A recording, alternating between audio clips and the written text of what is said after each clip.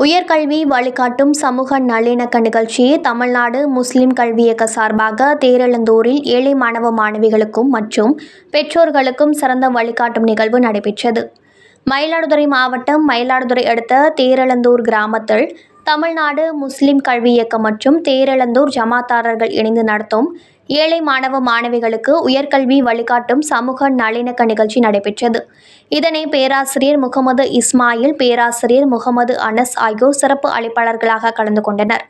அவர்கள் மாணவ மாணவிகளுக்கு கூறும்பொழுது என்ன கல்வி படிக்கலாம் எங்கு படிக்கலாம் எந்த துறையை தேர்ந்தெடுக்கலாம் அரசு பணியாளர்களுக்கான படிப்பு என்ன பெண்களுக்கான படிப்பு என்ன? நுழைவுத் தேர்வு வழிகாட்டுதல் அரசு உதவித்தொகை பெற்று படிப்பதற்கு வழிகாட்டுதல் ஆகியவற்றை கூறி மாணவ மாணவிகளுக்கு விழிப்புணர்வு ஏற்படுத்தினார்கள்.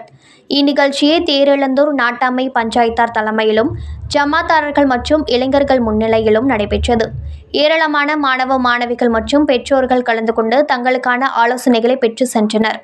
இத்தகவலை நமது செய்தியாளர் தாரிகனி மயிலாடுதுறையிலிருந்து தெரிவித்துள்ளார்.